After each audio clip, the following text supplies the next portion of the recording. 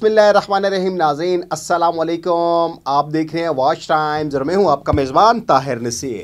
ناظرین، آج دوبارہ بات کریں گے۔ ہم آپ کو چکری کا چکر بتائیں گے کہ وہ ایسا چکر چلا ہے کہ سابق وزیر داخلہ چودھری نثار علی خان نے ابھی تک چھپ کا روزہ نہیں توڑا۔ کیونکہ چکری میں ایسے ایسے چکر چلتے ہیں کہ انسان کے اوسان خطا ہو جاتے ہیں کہ ہو کیا رہا ہے۔ آپ کو معلوم ہے کہ چونترا، تھانہ چونترا سال کے تین سو پینسٹھ دنوں میں وہاں پہ چار سو سے زائد افراد کو قتل کیا جاتا ہے اور وجہ انات کیا ہوتی ہے؟ زمین کا تنازع۔ آپ کو یہ بھی معلوم ہوگا کہ چکری کے چکر میں وہاں پہ چار سے پانچ ایسی ہاؤسنگ سوسائٹیز ہیں جن کے پاس این او سی نہیں ہے۔ سب سے پہلے ٹاپ پہ آتی ہے بلیو ورلڈ ہاؤسنگ سوسائٹی جو اوورسیز پاکستانیوں کو چونا لگا رہی ہے۔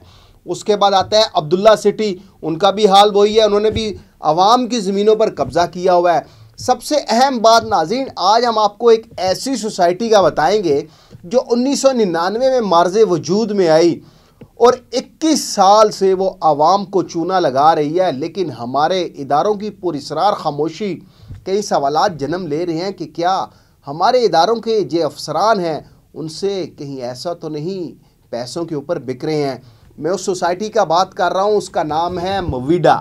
اس کے علاوہ آپ کو ایک اور نئی سوسائٹی جو لانچ ہوئی ہے روڈر انکلیو، اس کے متعلق بھی آپ کو بتائیں گے، کیونکہ ہمارے پاس اطلاعات ہیں کہ گلبرگ گرینز کی جانب سے ہیوی انویسٹمنٹ روڈن انکلیو میں کروائی جا رہی ہے۔ ان کے پاس کتنے کنال زمین ہے، زمین کس کے نام پہ تھی، یہ بھی آپ کو بتائیں گے۔ اس کے علاوہ آپ کو بلیو ورلڈ ہاؤسنگ سوسائٹی کا تو معلوم ہے کہ تین دن قبل چودھری نئے مجاز کے چہرے پہ جو شرافت کا پردہ تھا وہ کیسے چاک ہوا۔ کیسے انہوں نے پولیس کی حراست سے اپنے بھائی ندیم اجاز کو فرار کروایا؟ ہتکڑی سمیت پرچہ درج ہوا۔ چودھری نئے مجاز دعویٰ کرتے ہیں، بہت شریف ہیں، لیکن شرافت کا پردہ پرسو چاک ہو گیا تین دن قبل جب انہوں نے اپنے بھائی کو فرار کروایا۔ لیکن اس کے اوپر علیحدہ سے کسی دن آپ کو مزید بلیو ورلڈ ہاؤسنگ سوسائٹی کا وہ میں گیٹ لازمی دکھاؤں گا جو کرائے کی زمین پر بنایا گیا ہے۔ آج میں بات کروں گا مویڈا سٹی کے اوپر۔ ناظرین، پاکستانی عوام کی یاداشت بہت کمزور ہے۔ ہم بات کریں نائنٹین نائنٹی نائن کی، ٹو تھاؤزنڈ کی، تو مویڈا سٹی کی جو جگہ ہے، وہاں پہ سب سے پہلے جو ہاؤسنگ سوسائٹی لانچ ہوئی تھی، اس کا نام تھا شالیمار ٹاؤن۔ مارکیٹ میں یہ لوگ دھوکہ دیتے رہے انویسٹمنٹ اٹھاتے رہے، غریب عوام کو چونا لگاتے رہے۔ جب ان کا دل نہیں بھرا، تو مویڈا سٹی کا دوسرا جو نام تھا خیابان ٹاؤن۔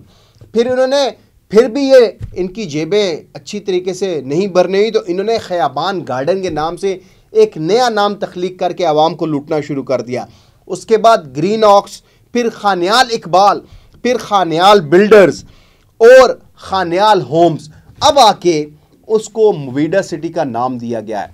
ہمارے پاس جو اطلاعات ہیں کہ چار سو پینتیس کنال زمین پر محیط مویڈا سٹی، جو عوام کو اسپیشلی اوورسیز پاکستانی کو کروڑوں روپے کا چونا لگا چکی ہے اور کاشانہ چونترا کا نام کس سے نہیں سنا؟ راجہ اورنگزیب صاحب، اس کے علاوہ جو اس مویڈا سٹی کے مالک بتائے جا رہے ہیں، تجمل حسین بٹی کا نام لیا جا رہا ہے اور یہ کہا جا رہا ہے کہ انہوں نے سوشل میڈیا کے اوپر بہت زیادہ ایڈورٹائزمنٹ کی ہوئی ہے۔ F I A cyber crime cell اس حوالے سے انکوائری کر رہا ہے۔ راولپنڈی ڈیولپمنٹ اتھارٹی نے مویڈا سٹی کو غیر قانونی ڈکلیئر کر دیا، وہاں پہ آپریشنز بھی کیے گئے ہیں۔ لیکن راولپنڈی ڈیولپمنٹ اتھارٹی کے کچھ ایسے انسپیکٹرز ہیں جن کی وہاں پہ منتھلی لگی ہوئی ہے۔ اور اس بیس پہ مویڈا سٹی کے جو مالک ہیں، تجمل حسین بٹی وہ اپنے کرندوں کے ہمراہ مل کر عوام کو چونا لگا رہے ہیں۔ نیب اس حوالے سے بھی انکوائری کر رہا ہے F I A cyber crime cell کی جو انکوائری ہے وہ اختتامی مراحل میں داخل ہو چکی ہے کہ کن کن سوشل میڈیا کے پیجز کے اوپر مویڈا سٹی والے ایڈورٹیزمنٹ کر رہے ہیں۔ کیونکہ تجمل حسین بٹی کی اگر ہم بات کریں تو ان کے اوپر تھانہ چونترا میں کئی اور بھی مقدمات درج ہیں جن میں یہ ملوث رہے ہیں، لیکن وہ ایک علیحدہ سے ہے۔ ابھی جو فائلیں بیچی جا رہی ہیں، اس حوالے سے یہ بھی معلوم ہوا ہے کہ مویڈا سٹی کے کچھ کرتا درتا لوگ سٹے بازی بھی کر رہے ہیں۔ سوشل میڈیا کے اوپر ان کے اپنے بندے بیٹھے ہوتے ہیں جو فائلوں کا ریٹ کچھ اور لگاتے ہیں۔ پھر وہاں پہ بارگیننگ ہوتی ہے۔ ان کی فائل ایک لاکھ چالیس ہزار پہ تک گئی تھی۔ اب دوبارہ ان کی فائل تیس سے پینتیس ہزار پہ آ چکی ہے۔ مویڈا سٹی جس طرح میں نے آپ کو بتایا کہ نائنٹین نائنٹی نائن سے یہ لوگ چار سو پینتیس کنال زمین پر وہاں پہ بیٹھے ہوئے ہیں اور آٹھ مرتبہ انہوں نے نام چینج کیا۔ بات یہاں پہ نہیں رکتی۔ مویڈا سٹی کے لیے این او سی لینے کے لیے ان کے مالک نے ایک گیم کھیلی تھی راول پنڈی ڈیولپمنٹ اتھارٹی کی آنکھوں میں دھول جھونکنے کے لیے۔ میڈیا انکلیو کے نام سے ایک انہوں نے بلاک بنایا تھا اور صحافیوں کا سایہ حاصل کر کے انہوں نے این او سی لینے کی کوشش کی تھی، لیکن وہ کوشش ان کی کامیاب نہ ہو سکی۔ کیونکہ وہاں پہ جب اس وقت کے جو یونین تھی، ان کو جب معلوم ہوا تو ایک طوفان برپا ہو گیا اور اس کے بعد رولپنڈی ڈیولپمنٹ اتھارٹی نے مویڈا سٹی کا این او سی کینسل کر دیا، کیونکہ جو راولپنڈی ڈیولپمنٹ اتھارٹی حکام ہے، وہ یہ کہتے ہیں کہ مویڈا سٹی کے پاس اتنی زمین نہیں ہے جتنے وہ دعوے کر رہے ہیں۔ ابھی تک جتنی فائلیں بیچی جا چکی ہیں اسپیشلی یہ جو غیر قانونی ہاؤسنگ سوسائٹی کا ٹارگٹ ہوتا ہے، یہ اوورسیز پاکستانی ہوتے ہیں۔ جس طرح آج ہم نے پروگرام کیا الحرم سٹی کے دانیال بلاک کے اوپر وہ ہم نے ویڈیوز بھی چلائی کہ وہاں پہ ایک بزرگ تھے جو کہتے تھے، میں دبئی میں رہتا تھا اور میں نے اپنی تمام جمع پونجی ان غیر قانونی ہاؤسنگ سوسائٹیز میں اس وجہ سے خرچ کر دی کہ شاید مجھے سر چھپانے کے لیے گھر مل جائے۔ لیکن یہ اس قدر قبضہ مافیا با اثر ہوتا ہے کہ یہ غریب عوام کی زمینوں پر قبضہ کرتا ہے، پھر ان کے اوپر جھوٹے مقدمات بھی درج کراتا ہے۔ اب تین دن کا واقعہ تو آپ کے سامنے ہے کہ اگر یہی واقعہ سابق سی پی او ایسن یونس کے دور اقتدار میں ہوتا تو ایس ایچ او چونترا اب تک سسپینڈ ہو چکے ہوتے۔ لیکن موجودہ سی پی او اطر اسماعیل صاحب کی سمجھ نہیں آ رہی کہ وہ کیا چاہتے ہیں۔ کہیں ایسا تو نہیں کہ سی پی او اطر اسماعیل صاحب کے اوپر سیاسی پریشر زیادہ ہو، کیونکہ بلیو ورلڈ ہاؤسنگ سوسائٹی کے جو چیئرمین ہیں، سعد نذیر، چودھری نعیم اجاز، چودھری ندیم اجاز فہم اجاز، ان کی بہت زیادہ جو کڑیاں ہیں وہ حکومتی شخصیات کے ساتھ مل رہی ہیں۔ رنگ روڈ کا بھی ایک ایشو بنا تھا۔ روڈن انکلیو کی آپ کو بات بتا دیں کہ روڈن انکلیو بھی ایک غیر قانونی ہاؤسنگ سوسائٹی ہے اور ان کا کام بھی صرف عوام کو چونا لگانا ہے۔ وہاں پہ اس حوالے سے روڈن انکلیو کے حوالے سے میں آپ کو ضرور شیئر کروں گا کہ ان کے پاس ٹوٹل زمین کتنی ہے، کتنی فائلیں بیچی جا چکی ہیں۔ جس طرح مویڈا سٹی کی میں بات کر رہا ہوں مویڈا سٹی کے پاس اتنی زمین نہیں ہے جتنی یہ فائلیں بیچ چکے ہیں۔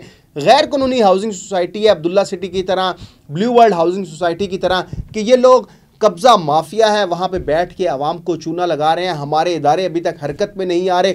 بلیو ورلڈ ہاؤسنگ سوسائٹی کے خلاف نیب نے انکوائری شروع کی تھی۔ اسلام آباد ہائی کورٹ سے چودھری نئی مجاز سعد نذیر نے ضمانتیں بھی حاصل کی تھی، وہ ابھی تک انکوائری پینڈنگ ہے۔ لیکن انقریب آپ کو بتائیں گے کہ جو نیب کی انکوائری ہے، اس میں ایلیگیشنز کیا ہیں؟